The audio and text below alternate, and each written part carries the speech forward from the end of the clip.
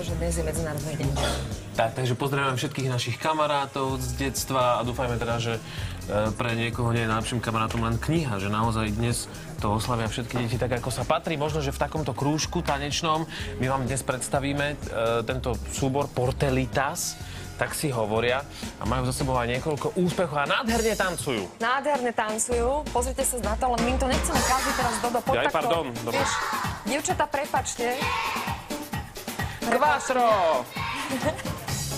Nelly Portela, ahoj, dobré ráno. Ahoj, dobre, Vítajte ako na prvnež štúdiu. začneme a predstavíme si dievčatá, ja musím predstaviť túto dámu, pretože je to niekoľkonásobná majsterka sveta e, v rôznych štýloch, aj v karibskom tanci.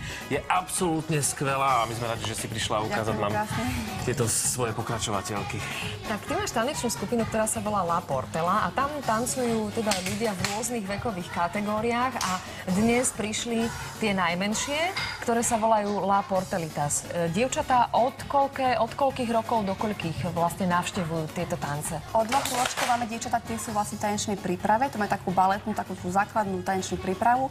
A potom od troch rôčkov sa im už venujem ja s Latinom, to je najmenšia taká Saška, to sú tie v tom fialovom kostýme, to sú tie najmenšie, to sú 3 až 5 ročkov, to sú škôlkarky ešte a potom už školáčky, to sú už prváčky, druháčky. Počuj, ako sa ti nacvičuje s takými malými deťmi? Ja som, ja som sledovala aj vlasy Nelly, že či tam nemá nejaký predsa len šedivý vlások, pretože to musí byť veľmi náročné udržať pozornosť takýchto deťúreniec a naučiť ich niečo, lebo v momente, keď deťom povie, že aby niečo opakovali, tak mnohé s tým majú problém, keď to treba dokola, dokola, dokola opakovať. Zaklopem si, ale nemám s tým problém.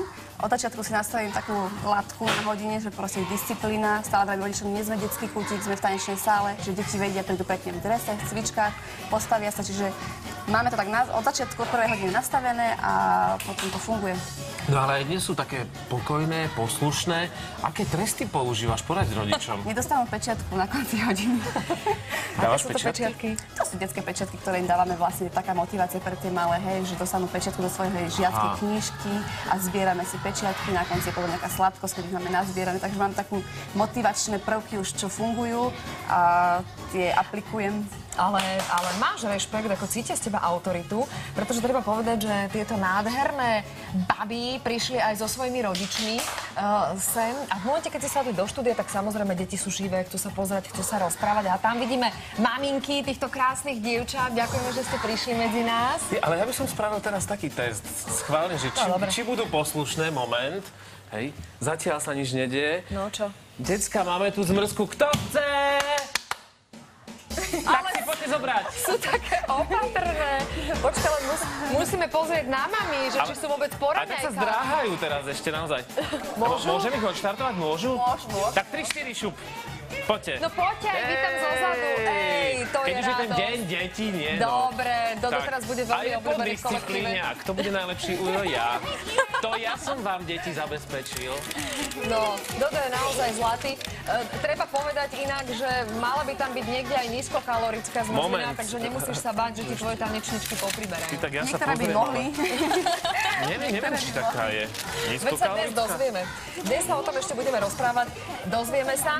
A okrem toho, že sa budeme rozprávať aj o tejto veci, tak tiež o detskom oblečení. My vám poradíme, ako oblieť svoje dieťa štýlovo a doslova v úvodzovkách za babku. Tak. Tak zostaňte s nami.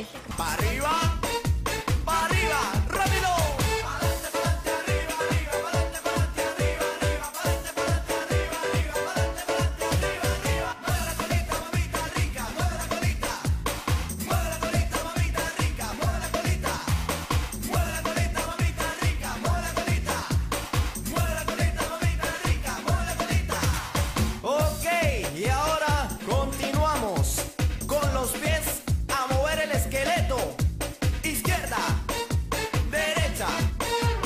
izquierda, derecha.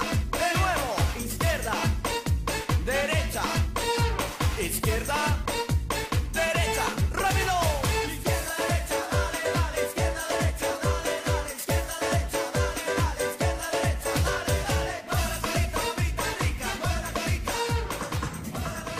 la Portelita z nás trošku roztancovali. Chvíľku aj pána doktora Jozefa Ilka. Či budeme